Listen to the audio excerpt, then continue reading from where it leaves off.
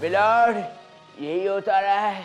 Date पे date पे date पे डेट मिलती रहती है लेकिन लड़कों को डेटिंग का कोई चांस ही नहीं मिलता। भाई मिलोड भाई ये क्या हो रहा है? दिस इज़ तो कंटेम्प्ट ऑफ़ कोर्ट मैं तो कहता हूँ कि न्यायालय की अवमानना है।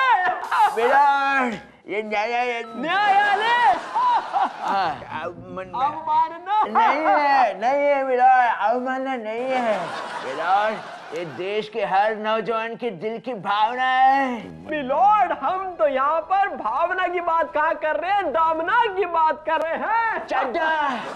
दामिनी दामिनी। वही दामनी स्लिप ऑफ़ टंग लड़के डेटिंग के लिए अपने बाप के जेब से पैसे चुरा कर मार खाते हैं और ये मिलती है सिर्फ़ एक डेट लड़के डेटिंग के लिए अपने जैकेट ब्रेसलेट कई बार किताबें भी बेचते हैं और उन्हें मिलते हैं सिर्फ़ एक डेट कई महीनों सालों तक चक्कर काट काट के एक लड़की की कई लड़के करते हैं वेट और उन्हें भी मिलती है तो सिर्फ़ एक डेट थैंक यू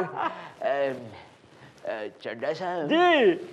हम लोग यहाँ भी क्या कर रहे हैं? भाई हम लॉयर हैं लॉयरगिरी ही कर रहे हैं। वो तो ठीक है।